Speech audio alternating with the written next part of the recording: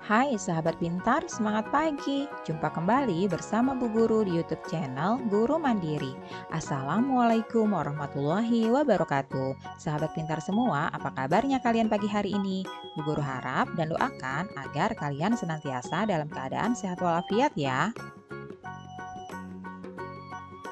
Pagi ini, Bu Guru akan menyampaikan materi pelajaran untuk kelas 6, tema 1, subtema 2, perkembangbiakan hewan secara vegetatif, pembelajaran ilmu pengetahuan alam.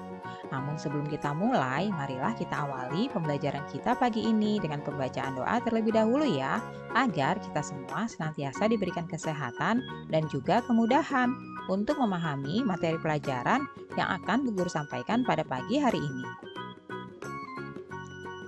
Tujuan pembelajaran kita yang pertama adalah siswa dapat menjelaskan tentang perkembangbiakan hewan secara vegetatif. Yang kedua, siswa dapat mengidentifikasi jenis-jenis perkembangbiakan hewan secara vegetatif. Dan yang ketiga, siswa dapat menyebutkan contoh hewan yang berkembang biak secara vegetatif.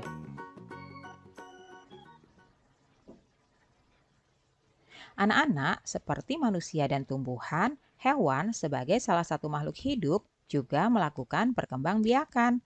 Tujuannya untuk memperbanyak keturunan dan juga melestarikannya agar tidak punah ya anak-anak.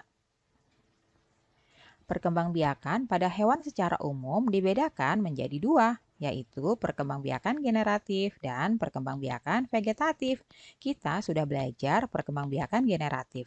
Kali ini kita akan membahas mengenai perkembangbiakan hewan secara vegetatif. Perkembangbiakan hewan secara vegetatif. Perkembangbiakan vegetatif pada hewan ini merupakan perkembangbiakan tanpa melalui perkawinan atau pembuahan sel telur oleh sperma.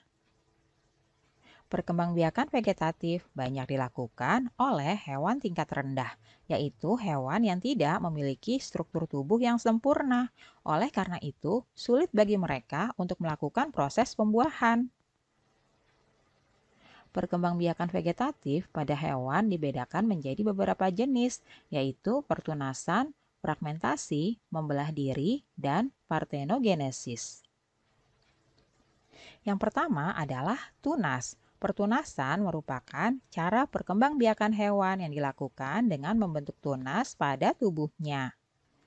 Pada tubuh induk akan tumbuh calon anak berupa tunas. Dia akan terus tumbuh dengan menempel pada induknya hingga dewasa.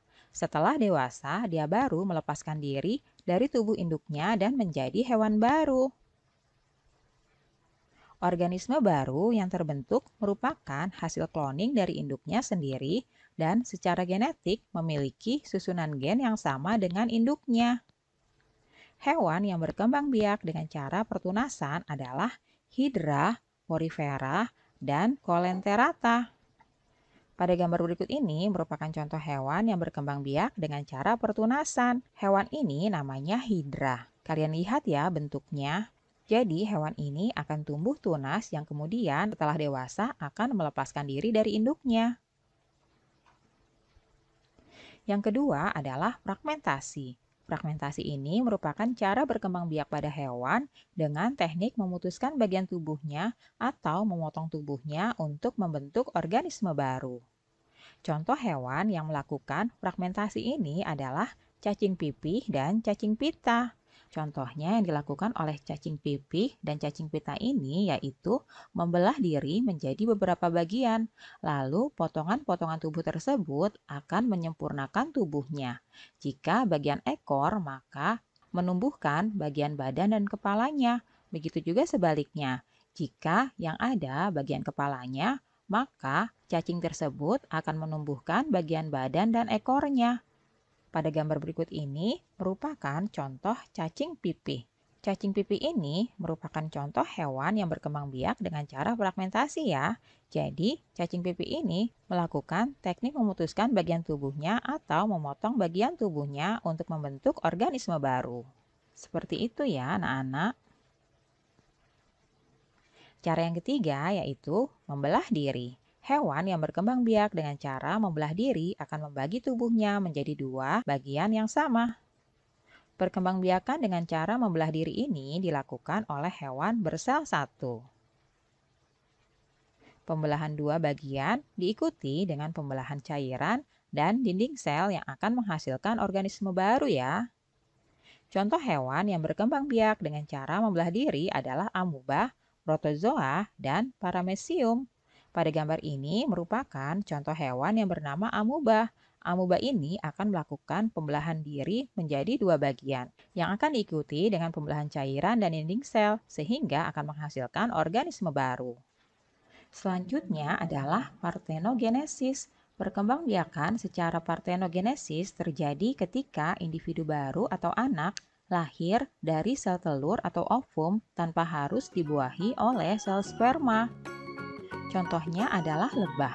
Ratu lebah dapat menghasilkan anak lebah tanpa terjadinya proses pembuahan.